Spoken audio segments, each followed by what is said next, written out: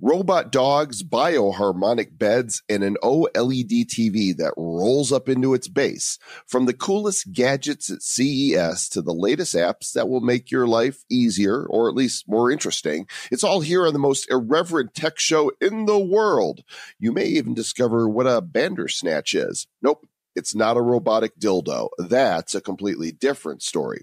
Confused? You won't be after this inaugural episode of the Bad Boys of Tech.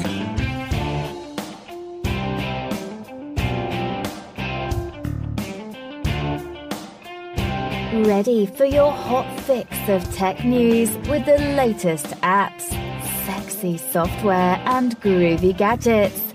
You've got it with the Bad Boys of Tech. Take it away, gentlemen. Welcome to the Bad Boys of Tech. We're not bad, really. We're just drawn that way. It's the podcast for tech nerds, geeks, dweebs, dorks, and those of you that might be technologically impaired. I'm Joel Comm, New York Times best-selling author and eternal 12-year-old, and along with me, Mr. Travis Wright. Yes, Mr. Joel Comm, it is a pleasure to hear be here with us. We are having a party. This is great, right? Bad Boys of Tech, episode one. I am a marketing technologist. I am a uh, average selling author, not not New York Times, but I wrote a book called Digital Sense. And may, some of you may know Mr. Joel Comm and I from uh, the Bad Crypto podcast. You might, you might not. This might be the first time you've heard us and you might be tuning out already, but you might be sticking around because there's another bad boy in the house across the pond. No, not the one in your backyard, the big pond, the Atlantic Ocean. It is the one, the only Stuart Rogers. Hey, Stuart. Well, hey, Joel. Hey, Travis. Um, it's awesome to be here. I mean, you know, sometimes I am across the pond. Uh, I'm a journalist. I write for tech publications like VentureBeat, um, the uh, Grit Daily, uh, and many others. Um, I'm also not an author yet, but I have stood outside the New York Times building. And, uh, you know, I say I'm occasionally across the pond. I'm also a digital nomad. I get to travel around all over the world. I move from country to country once every five days on average. So sometimes I'm over your side, and I know that the TSA is on high alert whenever that happens. why is that, Stuart? I'm just curious. Well, because I'm a bad boy of tech, Joe. That's oh, why. You're so, like you're so bad. so what? Why are we doing this show, guys? What? What's the deal here? You know, I think this is a convergence, right? So, you know, Joel and I, we do bad crypto, but then also Stuart and I, uh, you know, spent a couple of years doing the VentureBeat VB Engage podcast, and we were always talking about ramping that back up, and and then we were then we've had some pretty good success with Bad Crypto, and you know we chatted. We said, hey, what about what about joining all of us and having a a Bad Boys of Tech threesome every week? Mm, so if Bad Crypto and VB Engage got together and they had a uh, a, a one night stand, mm-hmm. this podcast is is what would uh, come out as a result. Uh, let's uh, let's all give a little bit of our backgrounds in tech, just uh, briefly. I've actually been a tech nerd my whole life. I went to my first CES when I was working for a video store in Northbrook, Illinois, junior in high school in 1981, and this is the era of the Atari 2600 and the VHS tape. And my employer asked if I wanted to go to the Consumer Electronics Show at McCormick Place in uh, Chicago. And I, it was like Disneyland, you know, for, for tech geeks. Um, and so I've been to many CES shows and I love gadgets. I love playing with all the latest toys. And uh, that's why I'm here. Why are you here, Travis? I, I, got a question about that real quick though. So is that like an additional ancillary CES? Just oh, let's have one in the Chicago area too? Because I no, that was that was before it was um you know in Vegas all before the they moved to Vegas. Nice. Oh yeah, that's like yeah. seriously old school. Yeah. Nice. They just That's recently cool. had their 50. This is, I guess this year was the 51st CES. Very cool. Yeah, but not, but not always in Vegas but not always in Vegas. Very cool. Yeah. So I'm Travis Wright. Uh, as mentioned earlier, I'm an author. I am also the co-founder of CCP Digital, which is an ad agency in uh, the Kansas City area. Uh, we got clients all over. And as a result of the Bad Crypto podcast that Joel and I host, uh, we've been working with a lot of different blockchain projects. We work with a lot of marketing technology projects as well, different kinds of clients. I am a marketing technologist, as is Mr. Stuart Rogers. And uh, you know what? I started out with tech, you know, way back in the day. I think you know I got on the uh, not quite as old as Mr. Joel Comm of getting on with the you know those computers, but I think my first computer experience was with the Apple IIe in like second grade or something, third grade, playing Lemonade Stand and all that stuff. And then in my junior year, uh, I was in the computer class and I was, you know, we were, we were learning basic language and my computer teacher just sucked. And I was like, you know what? I'm getting out of here at the semester. I'm going to come back to technology later on. This is, you know, this is way too slow and I, I have no, I have no patience for this. And, um, that was like 90, 1990. And, uh, then he went to the army, uh, as a Russian linguist in the U.S. Army, and then went to the University of Kansas. And then I got on super fast internet and I was like, oh my gosh, this internet stuff is amazing. And within the first 36 hours of being online, I had uh, learned HTML, built my first website, set it up, and uh, was was on the races. And so since then, you know, I've done SEO, paid search, mobile marketing, social media marketing. I was the global digital strategist for Symantec for a couple years and uh, I love the technology. Yeah, uh, yeah. I mean, hell, how long is this episode going to be, Travis? But not as much as you. You see, I didn't know. I didn't know we were doing our whole bio, Travis. I mean, give me ten minutes and, and I'll uh, I'll jump back in. You said just say some things, and so I did. I didn't you know when to stop. You, you said words and things and stuff. I bet Stuart knows when to stop. Though, Stuart, tell us about your background in tech. So I started out at the tender age of six. I was programming computers. Um, I actually had my first two video games published when I was 12. I then ran a number of software companies. Um, in the background, I was also running a video game news website um, that gave all of its money to charity, and we had approximately 50 young journalists come through the program and learn how to become journalists and uh, go on to get paid video game journalist jobs. Um, I got an opportunity to move from the wonderful world of tech into full time journalism, um, joined VentureBeat not just as a journalist, but also an analyst running VB Insights. We analyze marketing technology. Although Travis likes to label me as a marketing technologist, uh, I have moved on from that world. And these days, um, I have gone back to artificial intelligence. I say back to uh, because I was developing AI applications uh, when I was 12 or 13 years old. Uh, so that's a long time ago. I'm 148 years old, ladies and gentlemen.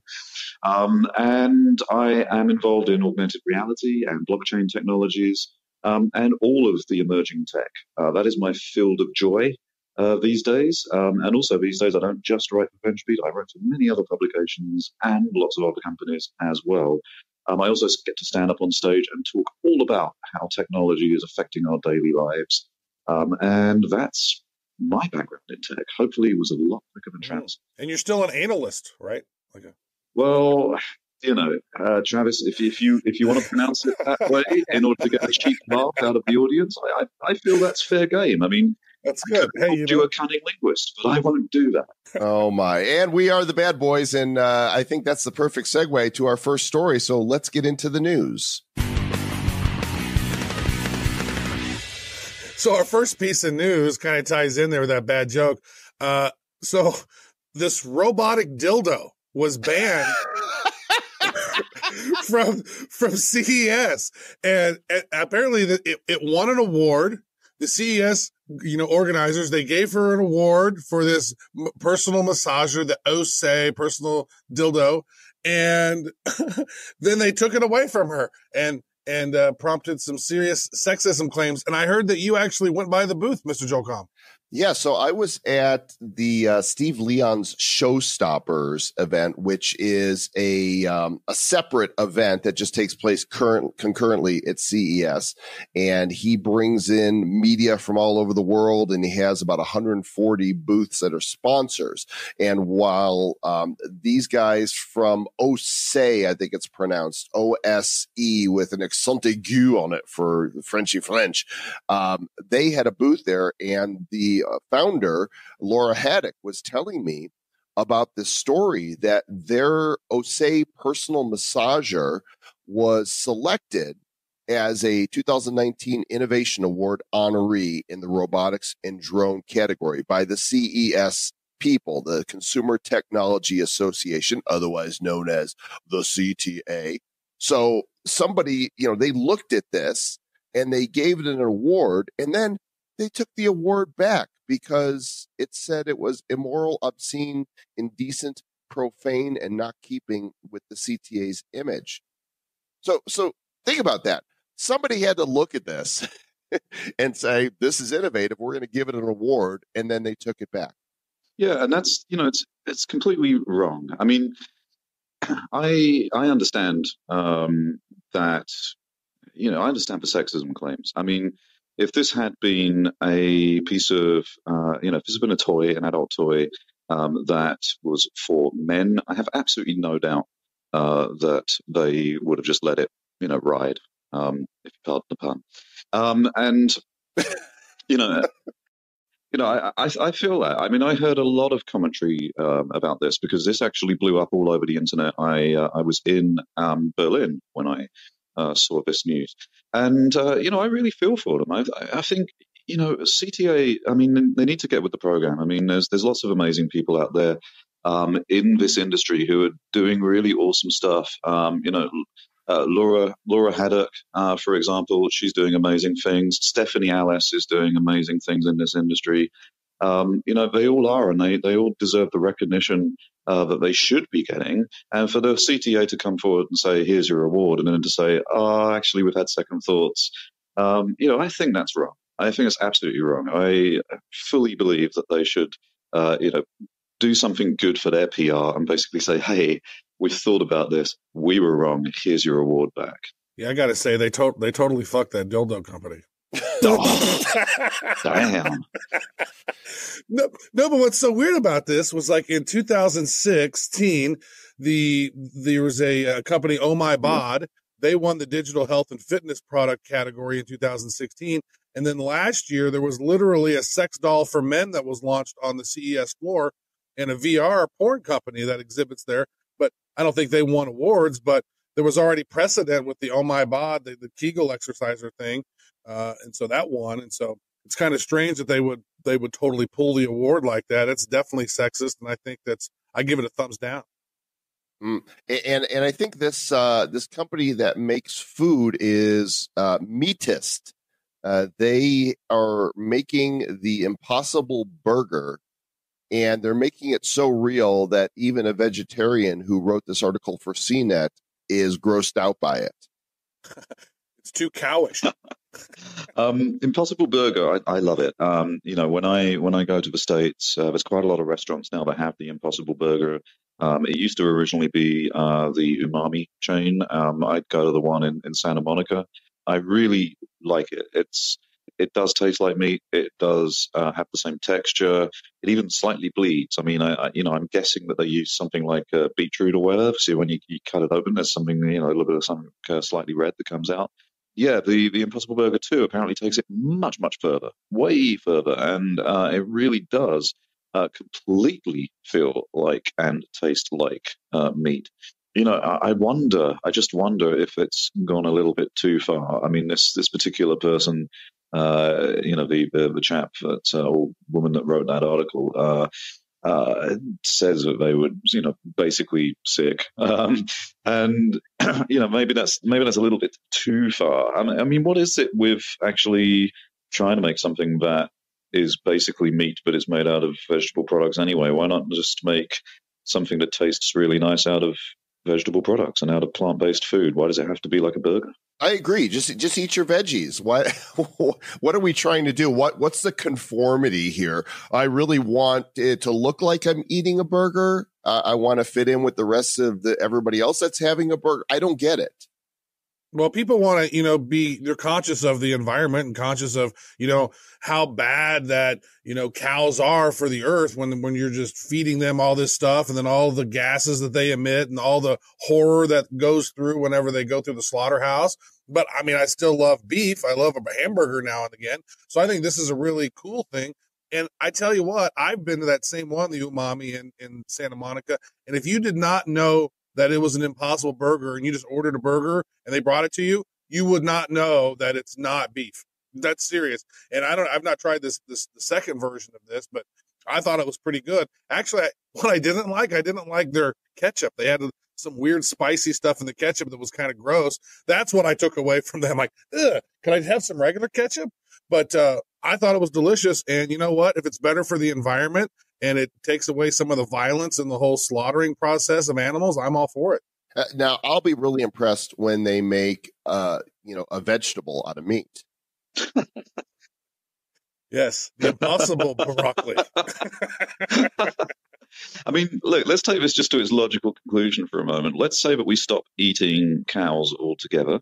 Cows are, are not really at the top of the food chain, let's be fair. Um, what what used to be have? Let's let's say we stop um, slaughtering cows for meat. Let's say we stop having them, uh, you know, uh, basically getting milk from a cow. Let's say we stop that as well.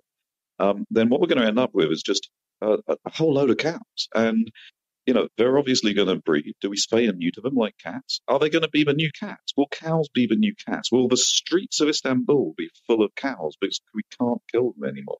Um, what is going to happen? Can we miniaturize them? Can we have small cows? Can we have, can we have tiny cows? Can we can we bring back that famous Reddit question? Can we say, you know, is it better to fight uh, 100 uh, duck-sized cows or one cow-sized duck? I, I don't know, guys. I think there's some that are objecting to this whole discussion. All right, maybe that, you're right. One, maybe, maybe we that, one, that one particularly sounded like it was objecting. I, I do yeah. not know what that cow was doing when it was recorded, but I, I'm not sure I want to know. I, I want to talk about the most badass thing that I saw at CES. The the thing that made me go, And it was an LG product. Of course, LG, a big electronics manufacturer of television sets and their display, when you walk into the, the main area in the central hall was what I could call like a tidal wave of televisions, these OLED TVs that were curvy. And of course, they were all stitched together to show one large picture. But once you go through the little uh, arch that they had created with these TVs, and you walk in, there were these a row of five. Um, uh, uh, what they're tables. They're about I don't know, 18 inches high and about six, five foot wide, I want to say. And out of these tables, TVs rolled up, literally rolled out of the table straight up to a 60 inch display. It's their new OLED roll up television and uh, you could roll it down when you're not watching it. It was pretty mind blowing. I mean, I'm gonna, I'm just gonna be a little bit mildly controversial here. Uh, we've been talking about flexible displays and all this kind of thing for a while. Um, they were at last year's CES. They've been at various trade shows. I fully appreciate what Lucky Gold Star have done, uh, but let's be completely frank, um, not massively innovative, right? I mean, we've we've had flexible displays for a while. Um, it was certainly a super impressive display, um, and you know I loved the way they put it all together and uh, the you know the video they had playing on it, and it was really super impressive. But um, it's not innovative, right? I mean, we've we've had this stuff around for a while.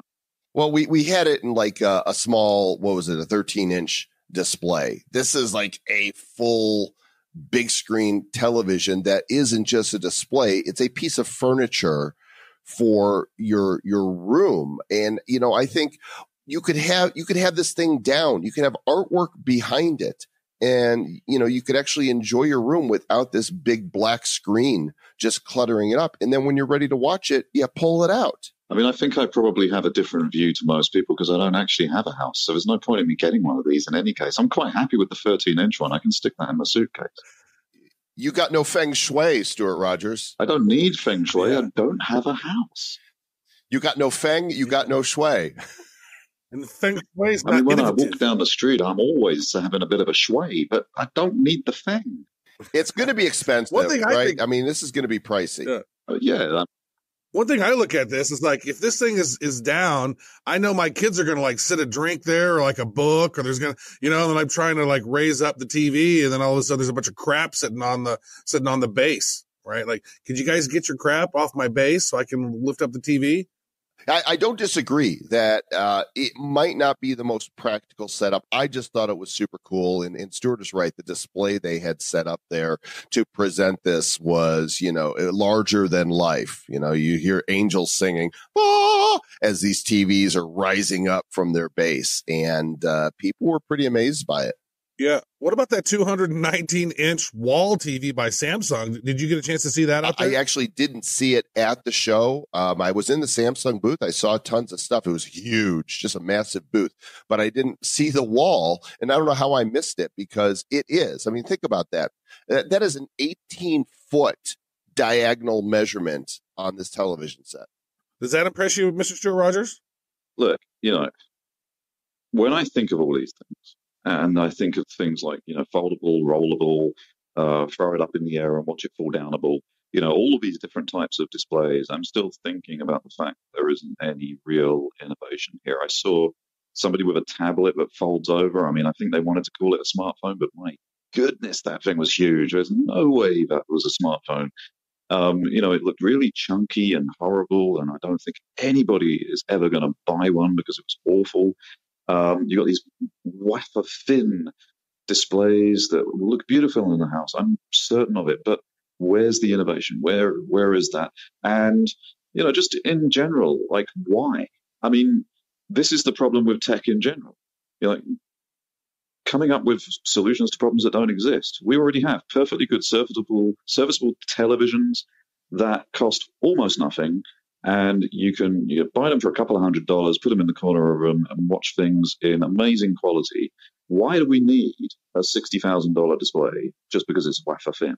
You know, I don't. I don't disagree. We were doing perfectly well with the horse and buggy, and why did we need a motorized car? I mean, you know, the horse and buggy got us from here to there. What do you need a What do you need an engine for? Come on, dude. You have to. You've taken that. You've taken that analogy way too far. Taking that analogy way too far. You know that's not what I'm saying. I know, and I don't completely disagree. How, you know, here's my biggest concern with technology, as much as I love the gadgets, is it connecting us better as human beings is it making us more human is it helping us to to accomplish more to get more done so that we have the ability to connect with others in ways that we haven't and, I, and i'm not sure that it's working us towards that but you know we're all willingly going along with it here in the matrix because the gear is fun for sure. Now we do have all of these show notes, all of these articles and photos of different stuff that was going on at CES at our website. It is badboysoftech.com. Also, I believe we have Bad Boys of Tech. So either one of those. We don't have a, you know, this is the very first one, so it should be easy to find this piece of content on the site there. Wouldn't you say, Mr. I would say it'd be really easy. If you can't find it, then you don't have an internet connection or you don't know how to operate a web browser. And can I just ask, you know, ladies and gentlemen, Maybe. please, please, please go ahead and type in badboysoftech.com. You know, we called this podcast Bad Boys of Tech, and then it took 15 people six people years to actually come up with that URL. So please honor the amount of work that they put into that and go to that URL for us. It's badboysoftech.com. Hmm. He's not wrong about that. It did take a long, long time. Have you guys seen the new Netflix Black Mirror episode Bandersnatch? You know, I, I have not because uh, of the aforementioned having no house and uh, enjoying life instead of watching TV programs. wow. Well, that, that wasn't condescending at all. Just, you know. Yeah. Yeah. You're so fun. You're fun to have at parties. Mrs. Well, yeah, I ha- yeah. You're just. Gonna... I, I, am fun to have at parties. Uh, I'm not fun to stick in front of a screen. Uh, that's not fun. Parties, they're fun. Watching a screen, not fun. That's true. That is true. I agree. Black Mirror is, you know, an award-winning series that is is very uh, dystopian in nature, and it looks at Actually, Mr. Joel Comm, CTA just took away their award because because of the name Bandersnatch. Yeah, they didn't like Snatch. It was it was not it was not good. They, they don't approve. I have no reply to that. So I'll just keep going as though you never said anything. Um, yeah. So this is what's really innovative about this show. If you haven't watched it yet, is this is a Black Mirror episode that is interactive. It's a first for television where you actually have choices that you make throughout the uh, the episode about what the character is going to do. It's and it's reminiscent of the old books that were the choose your own adventure books you know where you would uh, come to a certain part of the page and it says you do this go to page 83 but if you do this go to page 194 and so the outcome of this story changes based upon how uh, the the reader of the book would make different choices, and so they've applied this to this episode, and uh, it, it's it's pretty darn clever. I mean, it was the first time I felt like this is really interactive television. It's not just passive watching. Yeah. Now, one thing I noticed about it is they have their story, the plot is there, the whole thing is there, and if you choose one of the other ones, then they'll just go through that little that little narrative and then get you right back to it and make you do it over again, right? Because it wants you to, you know, you, there's certain things it wants you to do, and it, it, eventually you get to them, right? I, I thought it would be cool if it actually like, oh, you did this and you did that. Oh, the show's over, and the show you, it only took you 15 minutes to watch it. This was actually had to watch it. It was an hour and 30 minutes, and you basically go through even whichever ones you chose it would go back and recycle because it wanted you to go down a certain path. So it wasn't quite like the the uh, choose your own adventure books where you know you could read maybe it's three pages and that story's over. This one takes you back and makes you kind of go over it again.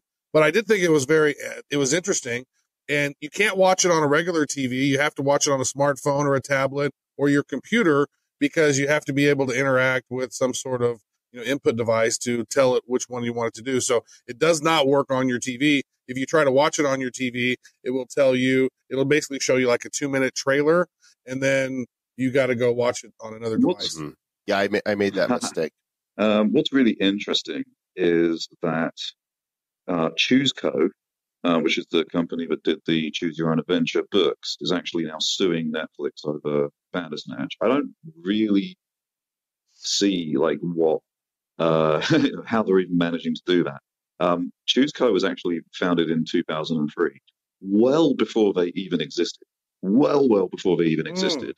Um, you had people like Steve Jackson and Ian Livingstone uh, who had the fighting fantasy books, which were also choose your own adventure, and you roll the dice, and the, the, the way the dice came out, you went to a particular page and all that kind of stuff.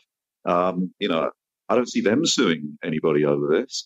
Uh, you know, ChooseCo, I think they're on really thin ground there, but probably, you know, because the United States is the United States, uh, some judge somewhere will go, oh, yes, I think this is completely reasonable, um, and give them millions of dollars. Uh, but, you know, it's it's kind of crazy. I mean, it's it's not even the same thing. It's a book versus, uh, you know, the technology that Netflix put in place to allow this to happen, which I think it's smart. I think it's really cool. Um, I may watch it at some point. It's the kind of thing that uh, if it is available on download, and you'll have to tell me if it is for, for Netflix, I could uh, watch it on a flight somewhere.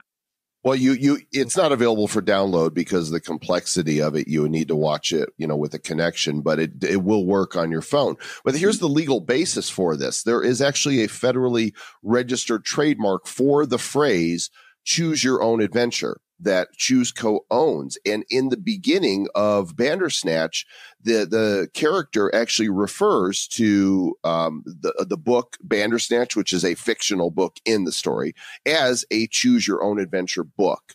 So ChooseCo is saying Netflix is using its trademark phrase, which without a license, they're asking for twenty five million dollars or Netflix's profits from the show, whichever is greater. Wow. This is interesting to me because I remember those. I have a bunch of those, and it was originally set up by Bantam Books. And Bantam, I ha- I think I have probably thirty of those original Choose Your Own Adventure books in in various like a box in my garage. And uh, I love those books. And and they said that they sold about 250 million of these uh, from 1978 to 1998, and then they stopped publication. And then in 2003, I guess these the these two people created ChooseCo to release those books, and then did they did they buy Bantam? Did they get all the rights to all of those? Because now they can sue. Uh, is it just a is it just one of those plays where they did that so they could go out and sue people who did that, like building apps? I, mean, I, I, don't I don't know, but I'm, i mean I'm no lawyer, but uh, once something becomes so prevalent that the words enter the lexicon of the language, such as, for example, uh, we have uh, to Google things, uh, to Google things with a lowercase g, because we've all accepted that it is such an important thing uh, to be able to say, I am going to Google this, but it is in, entered the lexicon. And when you have something that is so popular it enters the lexicon, um, a large amount of the time, uh, that right to have that as a copyrighted phrase goes away because it's just part of natural language. So I, I, I don't know uh, because I'm not a lawyer, but I suspect that uh, if there's a sensible judge in the room, they'll probably throw this well, out. it's not. Maybe they'll tell him to shut your bandersnatch. Get out of here. It's not all the tech news that's fin to talk about, but it's what we got for you. And now we're going to talk about some of the cool apps that we've discovered.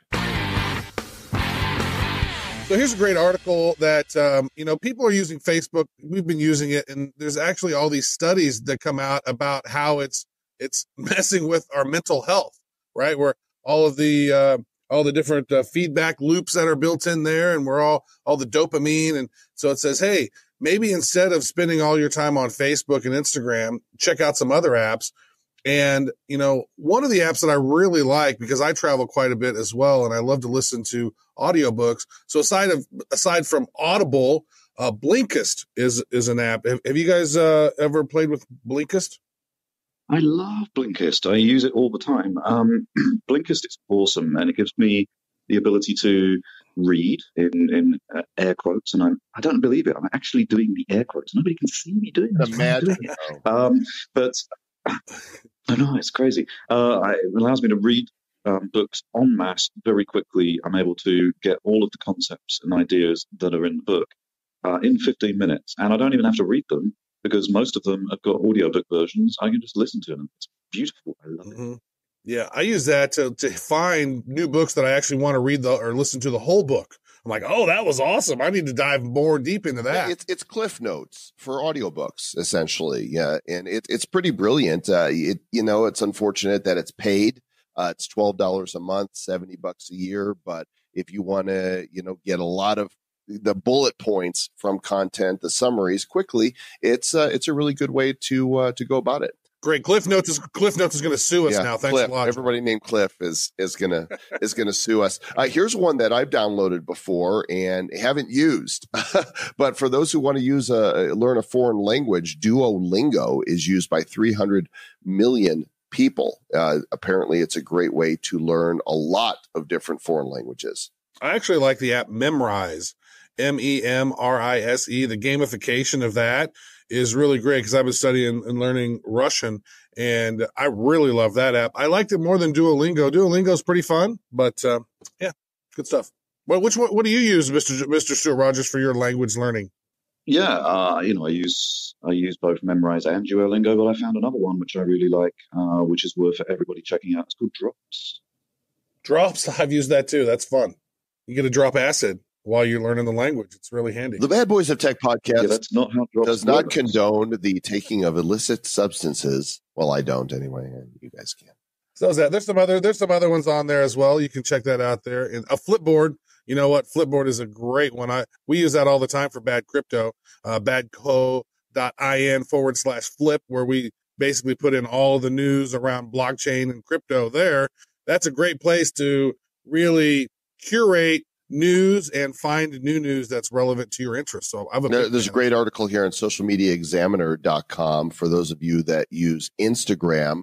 There's a list of five apps here that can help embellish your Instagram photos and videos um, in a way that makes your fake social media appearance even faker.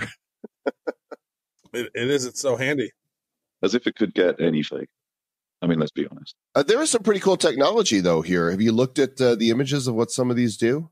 Yeah, you know, I have. Um, I, I think they're pretty cool. Um, yeah, I mean, I think most social media profiles are pretty fake at the moment, aren't they? I mean, I, I saw, I saw something amazing recently. I'm sure everybody has seen this. Uh, certainly, anybody that's on Reddit or uh, Imgur or any of those sites will have seen this probably a few times over the years. But you know, that an image of somebody hanging with one arm on an amazing rock face, and it looks like they're thousands and thousands of feet up in the air.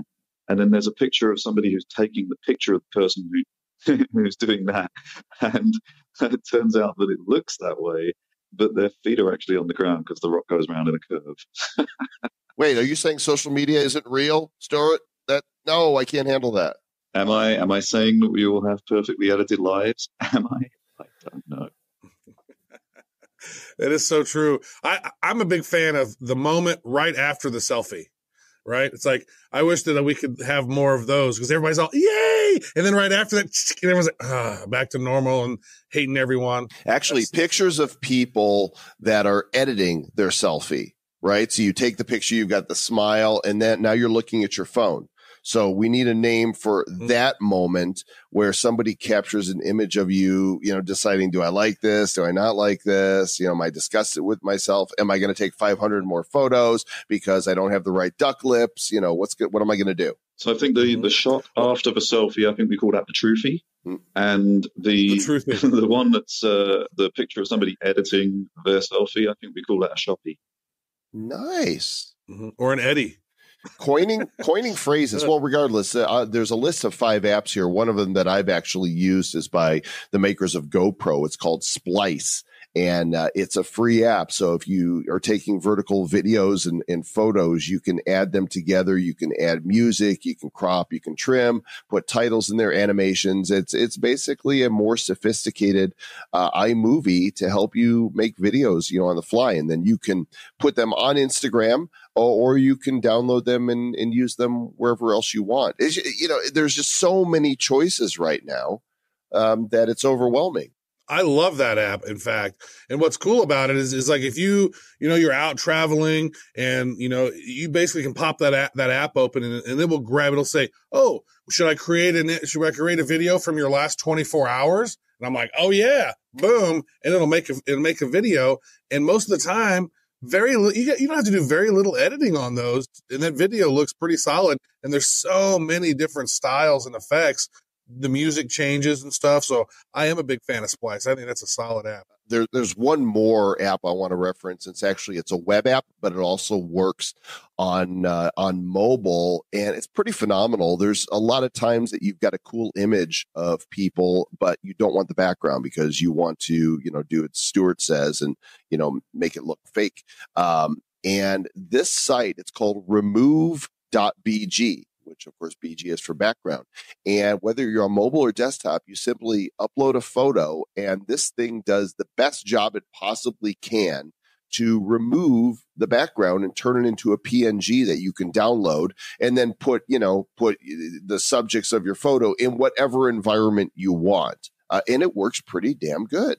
It does work pretty good. I have been playing with this tool since it uh, was launched. Um, you know, I saw it uh, appear uh, and get it, started getting a lot of social media coverage. And then um, it got even more when somebody featured it on uh, Product Hunt, and it's exploded. Uh, I think it's awesome. It does a really, really good job, super good job. Um, and it's a really fast and simple way of creating uh, images that have got a transparent background, which you know, even with the likes of uh, the Photoshops and PaintShop Pros and everything else that are available, like Pixlrs and Snapseeds and so on and so forth, um, you know, isn't always the easiest job in the world. Remove BG just does it in a in a snap. It's awesome. I actually have a question for you guys because you guys are using a lot of different apps. So now I can we can go and do remove BG and we can take the background away. Now we have this transparent ping of whatever we wanted to pull out from that image what apps do you have an app that you guys use to be able to layer that ping on top of something else? Because normally I have to go into Photoshop on my computer to do that. Is there an app that you guys have found that makes it easy to layer images on top of each other and on one image? on your phone? Yeah, yeah, of course. Yeah, absolutely. I mean, on your phone, you can use Canva, um, and there's nothing wrong with using Canva to put a background image down and then put your transparent image over the top. Um, you can use Pixlr, uh, that will do the same thing. Um, you know, so there's a whole bunch of, of yeah. different apps. In, in, fact, you can you can grab hold of the mobile version of Photoshop. Why not? Just use that.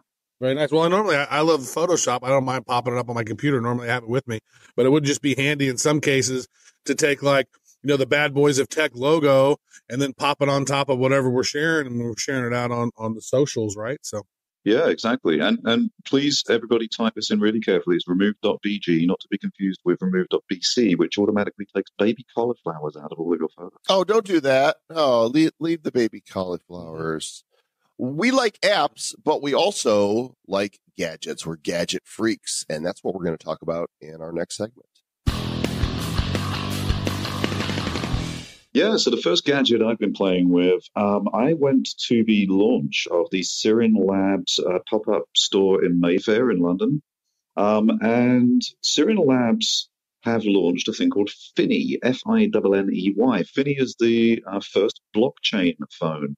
Uh, what you get when you get a Finney um, is you get a really nice, uh, you know, Android phone. Um, you know, I like the design. It's uh, it's not that much bigger than, say, a Google Pixel 3. Certainly not bigger than uh, your average Samsung.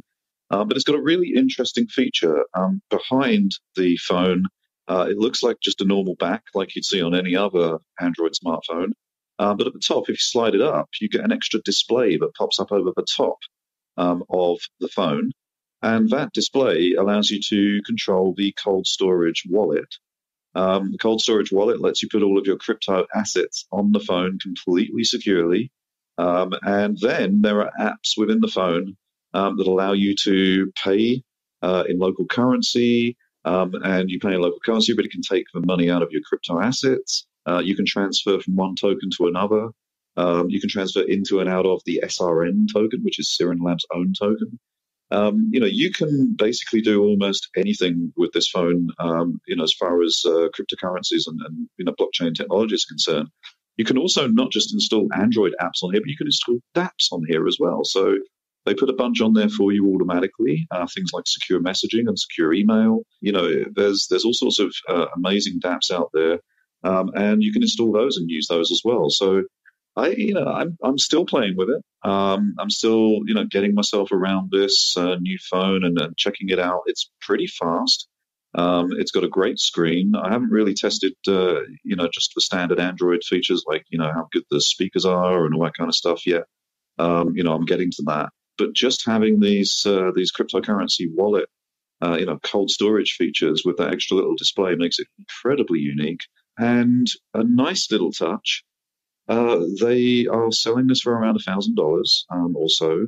Um, but there is an education center built into the phone. They want to help to make cryptocurrencies mainstream. And every single thing that you do as a user to go and learn something about cryptocurrency by using the education center, you'll get some money back um, as long as you answer the questions properly. So if they can see you're learning, you'll get money back. Eventually, they they've said that they even want to be able to give you so much money back um, that it pays for the phone, so that uh, you can get it for free.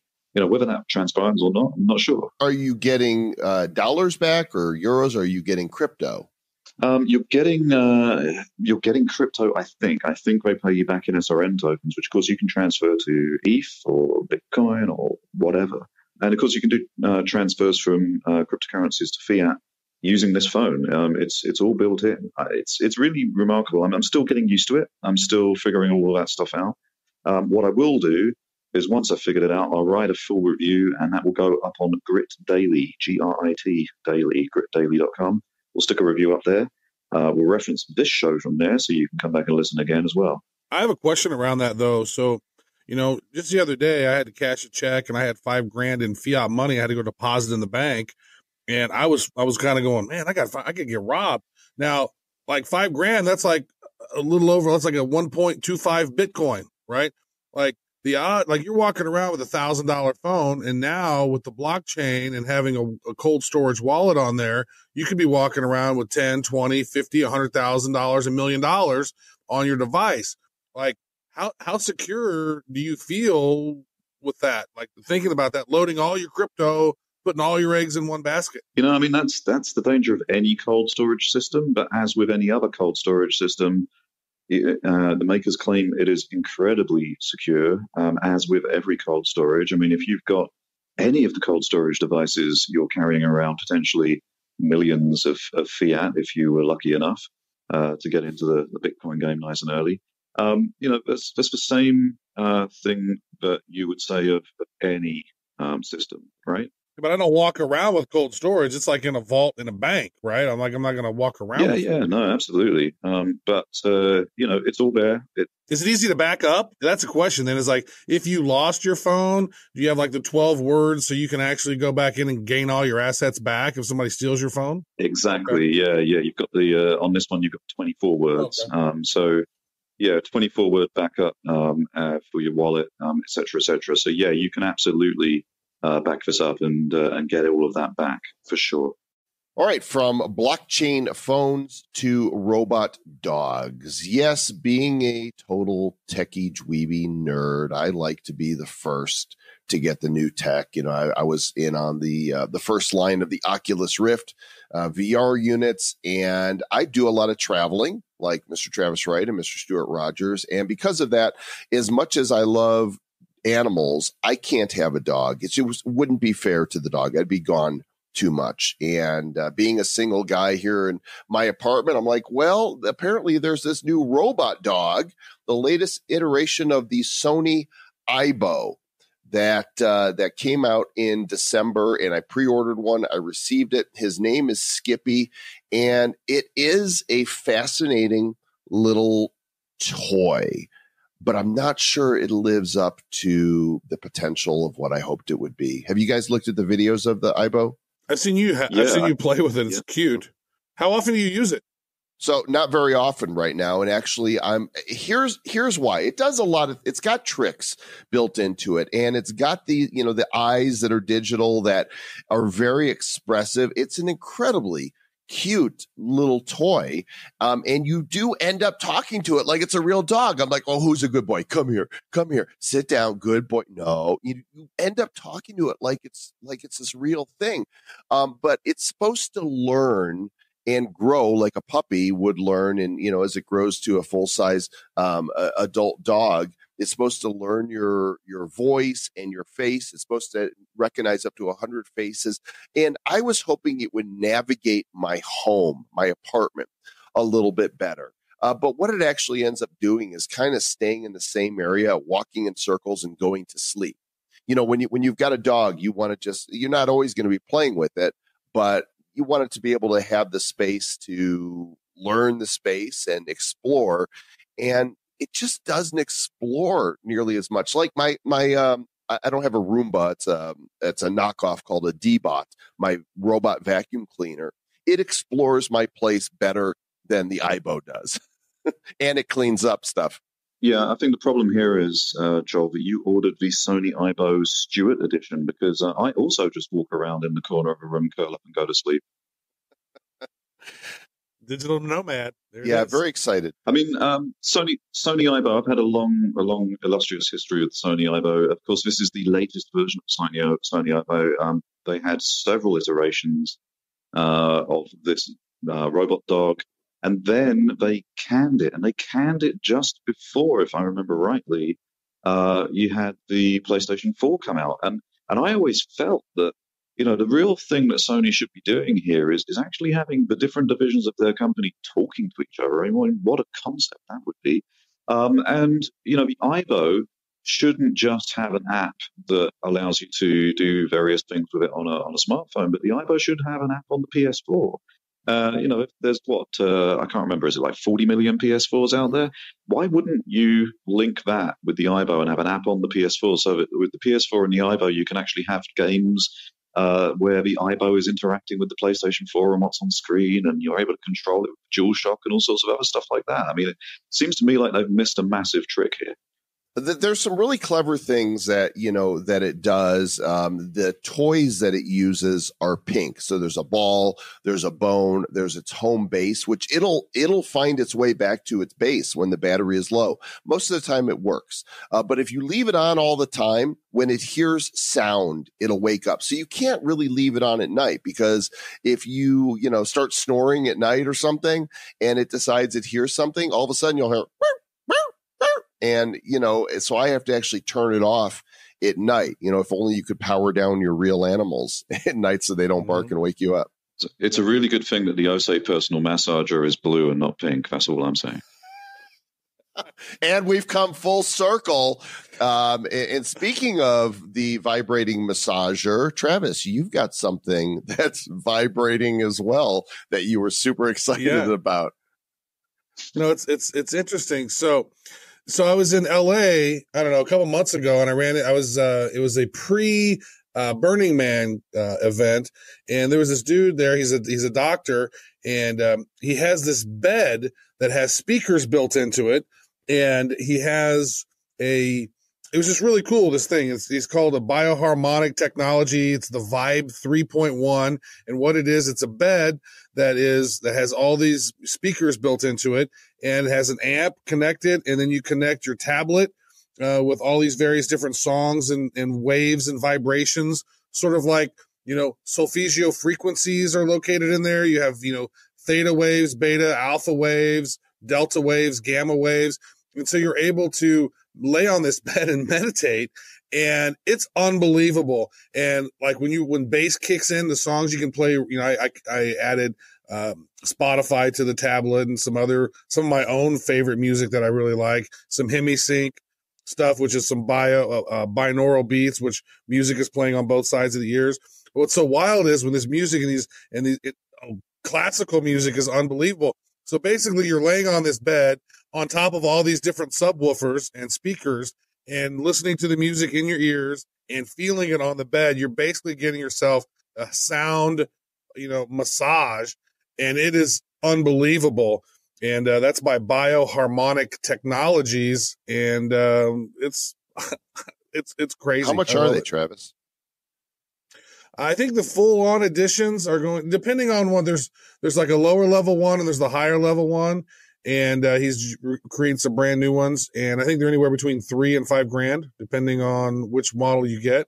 But I tell you what, it's just like getting a massage. I got up after listening to some music and feeling the music. I was just like, oh my God, that is unbelievable. It's about the price of a Bitcoin. So right you can have a vibrating massage table or a dog that walks in circles. Or a vibrating dildo that's robotic. And, and just you know just uh, throwing it out there because um, you know I, I, have mentioned before the whole uh, technology for the sake of it as opposed to solving any real problems. But uh, why is three thousand dollars better than going and getting a really good sixty dollar massage? Well, you know what? Because it's in my house and it's amazing. And I love the fact that, you know, especially when you're throwing in some of the spiritual music and some of the, you know, solfeggio frequencies and various different tones that you're vibrating every cell in your body. And there's some really cool cleansing to that. And there's some other science behind that. All I know is whenever I laid on it for like five to 10 minutes in LA, I was like, oh, yes, I have to have one of these. This is amazing. And another thing that's really cool about it is that once I put it up, both of my kids last night, it arrived yesterday. Both of my kids, like, they hung out here all night listening to their favorite music, jamming out and laying on. Like, it's cool. I can tell my kids are going to hang out more downstairs here with me while I'm working on stuff. And, uh, it, it, feels amazing. Once you feel it, then you know. You go, I'm gonna I'm gonna go along with Stuart for a moment because uh, I'd like to give you crap, but I can get a massage in my home too. In fact, I use a service called Zeel, and right. it's an app and I just I click on it uh, and say I want a massage. I want it, uh, a male or a female. I want this kind of massage. I want it this date, this time, and I click swipe.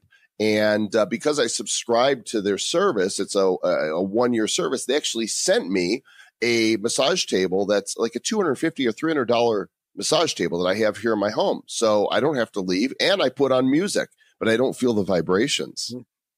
You don't sleep on a on a wall of sound.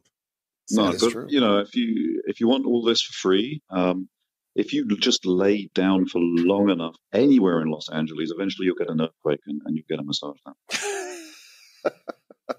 One last piece of tech that I want to bring to you guys here before we wrap up, and I discovered this at CES there was a lot of uh, health and fitness technology there, and everybody's now, you know, got a wearable, a band that you put on your wrist that tracks your sleep patterns and uh, how many calories you're burning, your stress levels, and so on. But there was one in particular that stood out from the rest by a company called Heal B, H E A L B E dot com, and the smart band is called the GoBe2. It's the number two, and this band does all of those things, but it does one one more thing that blew me away.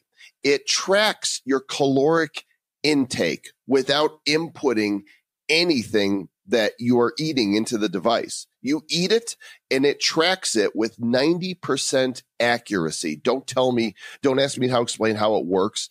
I just know that they claim it does. And it's called Go B. GoBe2, G O B E. GoBe2. That's amazing. So, so after you've eaten your starter and then you've eaten your main course, um, you'll be eating a Gobi Desert. Oh my gosh, that may be the worst joke that I've ever heard, not just on this show. what one thing that looks cool about it is though it actually tracks how how much water is in your system, like and how how dehydrated you are. That's kind of handy. The thing is really big and bulky though, and uh, it's kind of ugly. It's not the prettiest thing, but basically you eat or drink something, and then um, through you know enzymes break down the food, and the duration of the digestion process you know, is going to be dependent upon what you eat and how fast your metabolism is.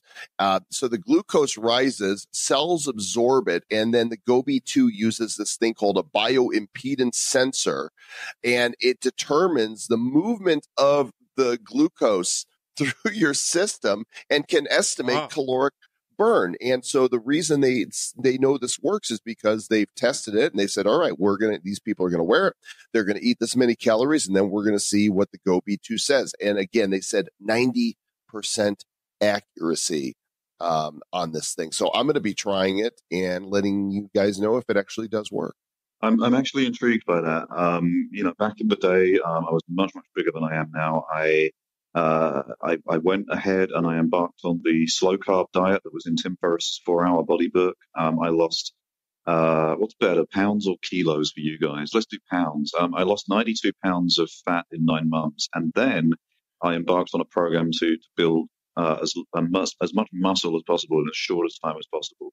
And in doing that, it was important, really important for me to know what my activity levels were through the day. So I was using Fitbit for that because uh, if I walked seven miles, I needed to eat a lot more than if I only walked like one or two miles that day. Uh, because I needed to overeat in order to um, have those uh, that nutrition go to my muscles, right, and help build them up. Um, and this would be the, the next part of that puzzle, right? Uh, you know, I could I could use a Fitbit for for one thing if I liked uh, to work out my uh, expenditure, and use this to work out what I'm putting in and make sure that I'm always hitting the 1800 calories more than I need um, barrier every single day. Well, there you guys have it. The very first episode of the Bad Boys of Tech. What'd you think? Let us know. Write us uh, via badboysoftech at gmail.com or go to the website, badboysoftech.com. Click the contact us link. And please, this is a new show. We have no reviews. Uh, we have no downloads. Well, yours, your download, right? We're, we're brand new. And so we need your review. Please go to wherever you're listening to this podcast and submit a review. Let us know what you think, unless it's going to be a bad review, in which case, forget that you ever heard the show. We'll catch you all next time. The Bad Boys of Tech